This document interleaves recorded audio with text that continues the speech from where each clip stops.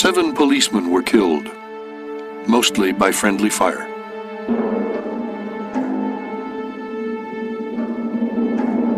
The Chicago Times called the workers ragtag and bobtailed cutthroats of Beelzebub from the Rhine, the Danube, the Vistula, and the Elbe. Labor's largest paper called them wild beasts.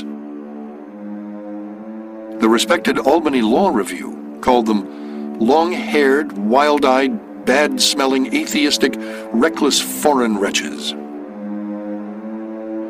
was front page news around the world. Remember, Chicago is the world's window into the future. People from around the world really saw it as what city life was going to be like for them, perhaps 10 or 20 years down the road. And when you got into the labor violence, what appeared to be proletarian riots, it was very frightening to people in many places around the world.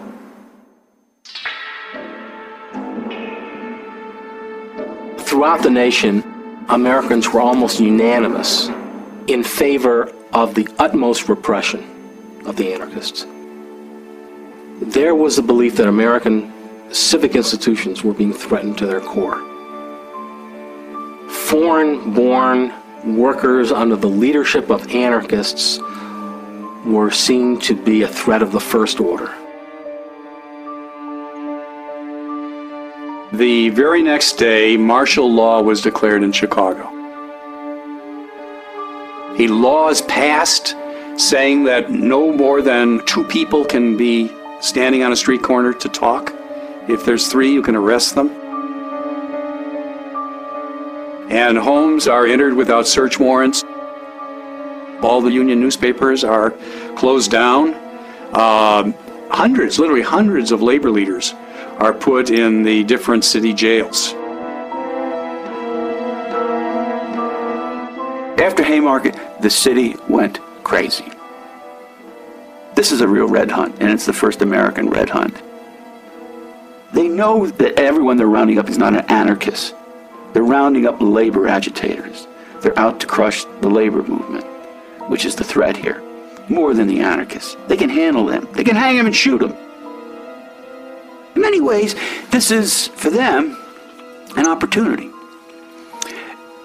They can paint them with the brush of anarchism and go after them like that. They didn't belong to the human race, poet Carl Sandburg, a child at the time, would recall. They seemed more like slimy animals who prowl, sneak, and kill in the dark. I didn't hear anyone in our town who didn't so believe.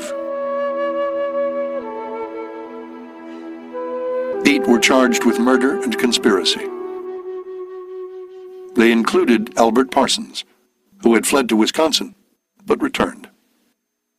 Here's a man who's rather naive, don't you think? He sits up there in Wisconsin and he says, Well, this is America, and, and the justice system will prove me to be right. And so I'll come down, I'll talk about anarchism, I'll explain that I was five blocks away in a tavern with my wife, uh, and the jury will, you know, let me go.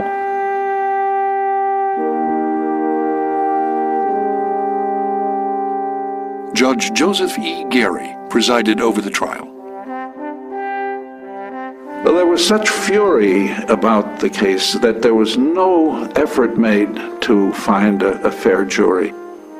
The bailiff was sent out to, to find people and bring them in as potential jurors, and of course he found people who were uh, deeply prejudiced. It wasn't hard at the time, and I'm sure the bailiff rejected anybody who showed any sympathy.